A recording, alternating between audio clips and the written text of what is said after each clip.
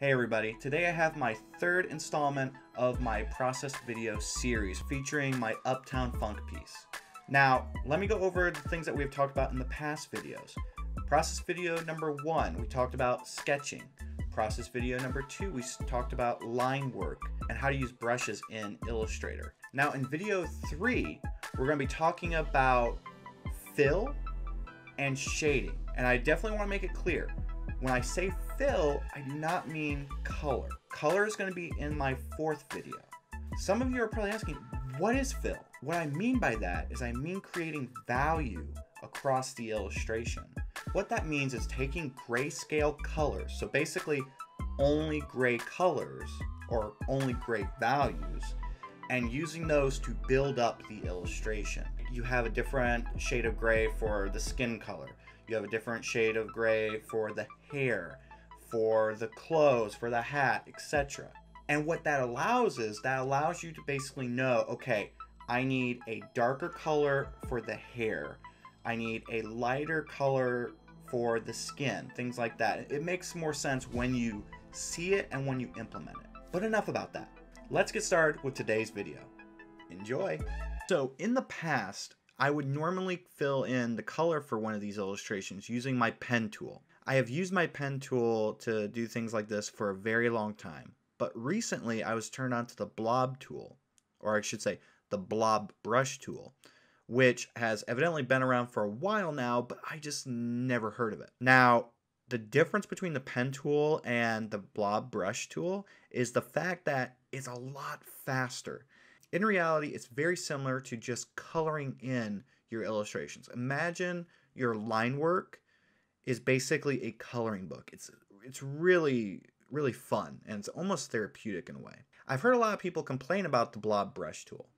And I will say this, it has its limitations, but there are ways of getting around that. One thing I don't show in this video because I didn't learn about it until after I actually recorded this is that you can actually use different brushes for the blob tool. And by using a calligraphy brush, you can mess with the pen pressure sensitivity.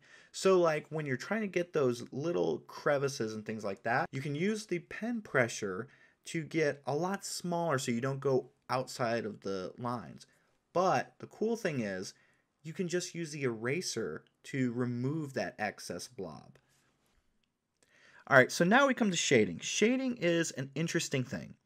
It's something that a lot of people struggle with, and even I to this day struggle with shading. It's something that you have to really work on and practice at, just like most things. What I do is I use a bright magenta color when I'm applying my shading. It really helps to contrast all of the grays that I'm using to create the fill.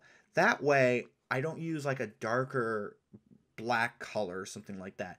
This way I can see perfectly where all of my shading is located. Like I said, shading is very difficult. You're not going to get it right away. I know plenty of artists who don't even add shading to their illustrations because they don't know how to do it. And honestly, one of the only ways to get better at shading is just to do it, just to practice. You'll go back later on and see some of your old illustrations, and the shading will be horrible. And that's fine. It's all part of the learning curve.